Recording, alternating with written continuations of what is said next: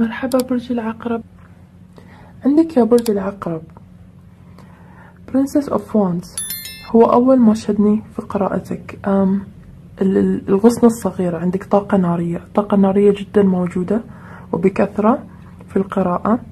فاحتمال إنك تتعامل مع الحمل آه الأسد القوس أو شخص موجود عنده عنصر النار في الشارت ماله.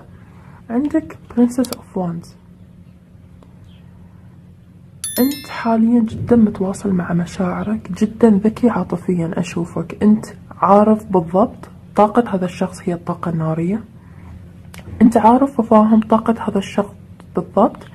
أنت وصلت لمرحلة تعرف أنه كيف سيتصرف في جميع الظروف وإما صرت تعرف تأثير الآخرين عليه.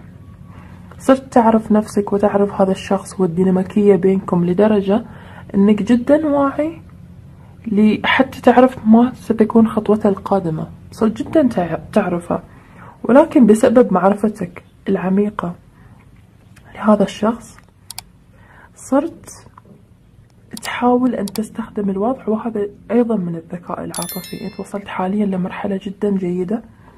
في ذكائك العاطفي أنت تعرف هذا الشخص واحتمال أنه أقل نضجا منك وأقل ذكاء منك.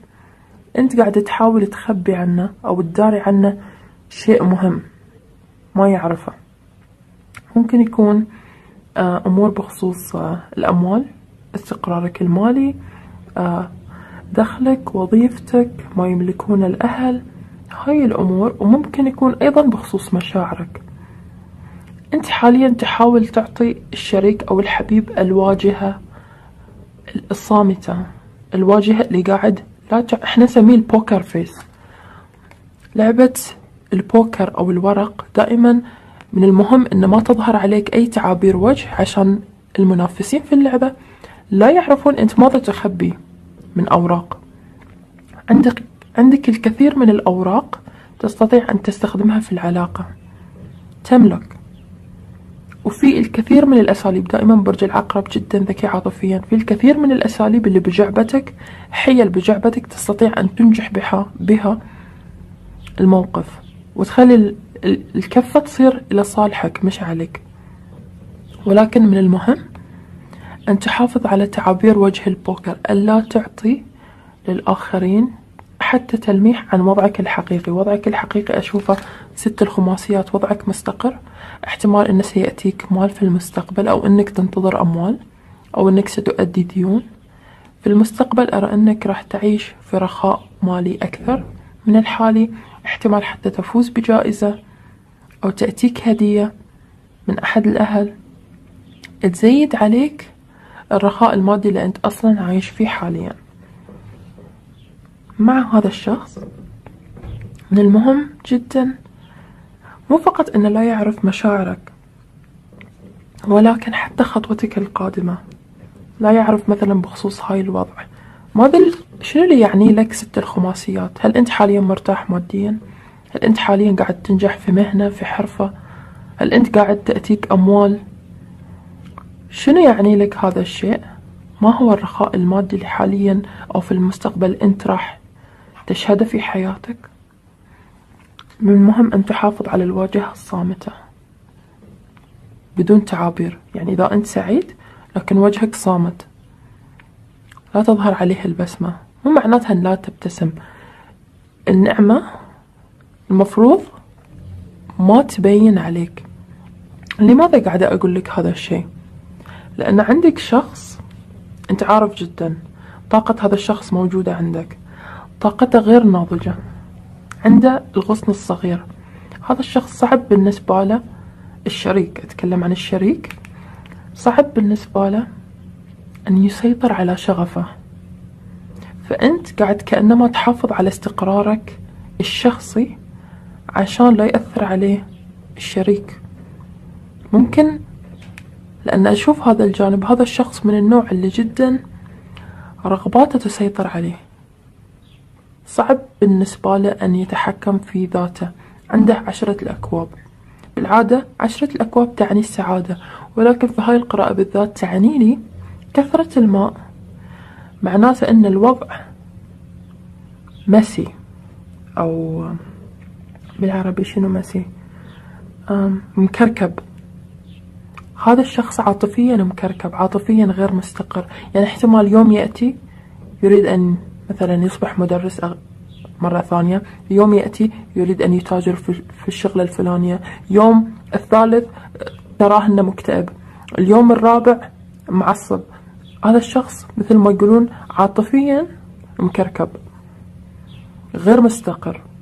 يفتقد الاستقرار. كرت الاستقرار موجود عنده. أربع الأغصان أيضا طاقة نارية. ولكن أي كرت بالراحة ممكن يكون معكوس ورا أنه معكوس عند هذا الشخص. لأنه ما عنده سيطرة على مشاعره جدا حساس جدا سهل أن الناس يتلاعبون فيه يخلونه يأخذون منه ما يريدون. لأنه إنسان طيب وحساس في نفس الوقت إنسان ليس لديه السيطرة على مشاعره وعلى توجهاته وعلى أساسياته في الحياة هو حاليا قاعد يعاني. فأنت من الذكاء أنت قاعد تحافظ على نفسك هنا. مو شرط لأنه هو شريك لأنه هو حبيب. المفروض أنا أعاني معاه مثل ما هو يعاني ترى. اللي قاعد تسويه جدا من الذكاء واتفق معاك فيه. مش شرط إنه لأنكم شركاء لأنكم تحبون بعض. من العدل أن يسحبك معاه إلى المعاناة خصوصا إن وضعه هو الخاطئ. وضعك أنت الصحيح. حتى وإن كان هو صاحب مهنة ولديه مال هو مكركب في النهاية. من النوع أشوفه من النوع اللي الناس يدخلون حياته يستغلونه يأخذون ما لديه من أموال ويرجع في هاي الدوامة. دوامة اللي الناس يدخلون حياته آه يكونون معه صداقات يكونون معه علاقات يأخذون ما يريدون ويسحبون عليه. فأنت قاعد نسميه self preservance أنت قاعد تحافظ على نفسك ذاتيا. حتى وإن كان الحب موجود كأنك قاعد تحاول تسيطر عليه من أن يعني يكبر أو يوصل إلى مرحلة جدا كبيرة بحيث أن هذا الشخص بعدين في النهاية لابد أنه سيسحبك. إلى جانبه. جانبه المكركب. عشرة الأكواب. الماء بالعادة جدا صعب أنك تسيطر عليه. يعني لما ينكب خلاص.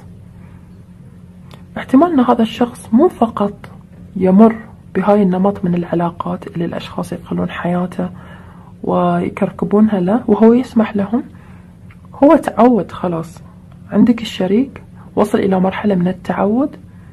أنه ما في حدود بينه وبين الآخرين. مثلا مثلا أمثل مع الأهل. دائما يسمح للأهل أن يتدخلون في علاقته معك. دائما يسمح للأهل أن يتدخلون في تربيته للأبناء. دائما ما في حدود. ما يضع حدود. كرت الحدود عنده مفقود. أنا أرى أن هذا الكرت مقلوب عنده.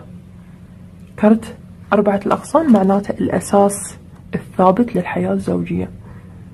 الحدود هذا بيتنا هذا زواجنا وهذا بيت الجيران. ما عنده هاي الموضوع. وحتى لما يدخل حياة الآخرين حتى وإن كانوا غرباء دائما يفقد السيطرة على نفسه. دائما هو ينتهي به الأمر خسران ومخذول. لأنه يتدخل لأن خلاص قلت لك تعود دخل من عادته أن التدخل في حياة الآخرين جدا طبيعي. عودوه هاي الأشخاص على هذا الشيء. فصار حتى هو عندما يدخل إلى منزل جديد علاقة جديدة تعرف على أصدقائك على الجيران ما يستطيع أن يحافظ على حدود مهمة في العلاقة. يتدخل أيضا صار هو اللي يتدخل في حياة الآخرين. ولكن هاي الأمور جدا كلفتها الكثير. سب الخماسيات مرحلة فقدان الاستقرار. فقدان الاستقرار في المنزل. هذا الشخص مخذول حاليا بسبب أفعاله الخاصة بسبب هو هو عارف قاعد وسط كل هاي الأكواب وعارف أنه هو أوصل نفسه إلى هاي المستوى. فالآن كأنما يعني هو قاعد يمثل أنه هو مخذول وزعلان ويلوم الناس ولكن كأنما ينتظرك أنت تأتيك الأموال أو يأتيك النجاح. وأنت اللي تكون خلاصة في هاي الموضوع.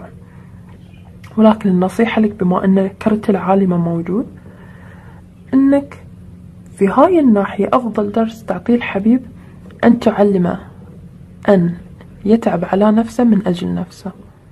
لا تستطيع أن تقوم بالأمر من أجله مجرد أن تأخذ الدروس والأموال والنصائح تعطيها له هذا لن ينفع معه. هذا الشخص عليك لديك الغصن عليك أن تريه الطريقة العملية. عندما أنت تحافظ على استقرارك ولا تسمح له أن يعني ينشر طاقته المكركبة إلى حياتك الخاصة أنت هني قاعد تعطي درس أنت هني قاعد تغير فيه. الماء أيضا طاقة التغيير. فهذه هي النصيحة لك. الدرس إذا كان محتاج هذا الشخص إذا كان محتاج للتغيير دائما علمه بالقدوة. أنت تكون له القدوة بدل أن تدخل في حياته وتساعده وتعطيه وتنصحه وتحارب من أجله. هاي صراحة الطاقة اللي عندك. الطرف الثالث عندك كرت الإمبراطور. عندك كرت آه ثلاثة الأكواب. أيضا كرت أكواب كأنما هو عامل تشجيعي للشريك. والخماسيين. بغض النظر من يكون هذا الشخص في حياة شريكك ممكن يكون أخ أخت أم أب شريك سابق أبناء من زواج سابق. بغض النظر من هو هذا الشخص بالنسبة لكم هذا الشخص لديه صلاحية في حياة الشريك للأسف. الطرف الثالث لديه صلاحية كأنما يعني من نفس الدم أو شيء كذا. لديه صلاحية أن يدخل حياة الشريك وتأثيره جدا سلبي عليه. شلون تأثيره سلبي هذا الشخص يشجع الجوانب اللي دائما كانت تسبب الخسارة لشريكك. يشجعه على ثلاثة الأكواب على شيء من تخلص من برج العقرب ستكون أسعد. آه لا تهتم لما يقوله برج العقرب. لا تطع أو تسمع نصيحة برج العقرب حتى وإن كانت نصيحته مهمة لا تطع النصيحة دائما أيضا يخبره أن لديه فرص أخرى مع أشخاص ثانيين واحتمال أن هاي كان سبب الخذلان لشريكك. اكتشف أن ليس لديه فرصة أفضل مع أشخاص ثانيين بالطريقة المؤلمة. ممكن هاي أيضا سبب تباعد حاليا بينك وبينه لأنك عرفت أنه هو ذهب وراء الفرص الأخرى في ثلاثة أكواب عندك. كأنه قاعد يريها هذا الإمبراطور. ممكن أيضا تكون تتعامل مع برج الحمل. ريح هذا الإمبراطور أو برج الناري. أن دائما أنت عندك فرص أفضل مع أشخاص أفضل. طلقة انفصل عنه اتركه. لا تكون معه. دائما هاي دائما يكون مثل اللي نصيحته ونصيحة الشيطان واحد. هذا الشخص تأثيره ونصائحه جدا فاشلة. دائما يقول العشب أكثر خضارة. في الجانب الآخر. فهاي الشخص احتمال شريكك أخذ نفسه أخذ حقائبه ذهب إلى الجانب الآخر اللي هاي الشخص. قال له أن العشب فيه أخضر وأفضل واكتشف أنه لا. فهو حاليا احتمال أنه مستحي مستحي أو خجلان أنه يرجع ويعتذر أو يعترف حتى بغلطته. احتمال أنه يريك بأفعال أنه هو ندمان. ولكن جدا هذا إنسان طيب جدا ولكن يفتقر إلى الذكاء العاطفي الاجتماعي. لأنه مش عارف يضع حد لهذا الشخص. أيضا هذا الشخص ينصحه two of pentacles الخماسيين. دائما نصائحه نصائح الطرف الثالث تضع الشريك بين نارين ولكن ليس بطريقة إيجابية. دائما في النهاية الشريك يضطر أن يختار واختياره يكون غير صائب. دائما يكركب. الاثنين معناته أن أنت قاعد تحاول تجمع بين شيئين ولكن في هاي الموضوع في النهاية الثمن يدفعه الشريك. هذا كأنما هذا الشخص الحين وصلتني الفكرة. هذا الشخص يكرهك. لديه مشكلة شخصية معك. لن تنحل بالكلام لن تنحل بالأفعال لن تنحل بالطيبة. هذا الشخص خلاص متمرس جدا في كرهك أنت. عندك كرة الإمبراطور وصل إلى مرحلة النضج يعني مرحلة لن يتراجع فيها عن رأيه فيك. فلا تتعب نفسك. ولكن شنو اللي قاعد يسويه حاليا؟ قاعد يتلاعب بالشريك. لأن أنت احتمال لست مقرب منه أو استطعت أن تكشفه أسرع لأن أنت برج العقرب الأذكى عاطفيا انتهيت من الأمور أسرع. ولكن قاعد يضرب تحت الحزام قاعد يتوجه نحو الشريك. احتمال يكون من أهل الشريك. قاعد يستخدمه ضدك لأنه يعرف أن مهما كان عندك وجه البوكر ولكن يعرف أن في النهاية لديك مشاعر لديك حب لديك أيضا رخاء لديك ذكاء. فشنو قاعد يحاول يسوي؟ يخسر هذا الشخص ومن ثم يرسله إليك. مرحلتين عنده استراتيجيتين. المرحلة الأولى يخلي هذا الشخص يخسر يفشل ينخذل. عندما يخسر هذا الشخص هذا ينصحه صح؟ يقول له افعل كذا كذا تطلق منه يحفزه. كأنما يعطيه الطعم. أن هذا الشخص ذكي. يحفزه. هذا الشخص يأخذ الطعم الشريك يأخذ الطعم فيخسر. يكتشف أنه فعلا ليس لديه فرصة أفضل من برج العقرب أو يخسر حتى في استثمارات ينصحه بها هذا الشخص. هذا الشخص احتمال يستغله. عندما يخسر لا تنتهي مهمة هذا الشخص. عنده مرحلة أيضا ثانية. رسالة إليك مرة أخرى. ليرجع إليك عشان يحاول بأي طريقة أن هاي الطاقة المكركبة التشويش اللي خلقه هنا يريده أن يصل إليك لأن أنت الهدف النهائي له لأنه هو يكرهك. لا يتمنى لك الخير. فتأثيره جدا سيء على علاقتكم. أفضل شيء أن تقدر تسويه في هاي الوضع أن تحتفظ بذكائك العاطفي الاجتماعي حدسك يا برج العقرب هو اللي راح يخبرك ما هو التصرف الصحيح. حدسك وليس مشاعرك.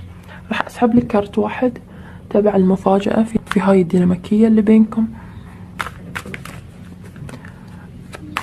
من بين كل القراءات أنت القراءة اللي فيها الطرف الثالث هو الأسوأ لحد الآن يا برج العقرب. لأن هذا الشخص إمبراطور الإمبراطور بما معنى أنه جدا ذكي ولديه مراحل. استراتيجيات متعددة ومعقدة. من أجل أن يحقق أهدافه. فهو لحد الآن الأسوأ. ولكن لا يوجد شيء لا يستطيع أن يتغلب عليه برج العقرب بذكاء العاطفي.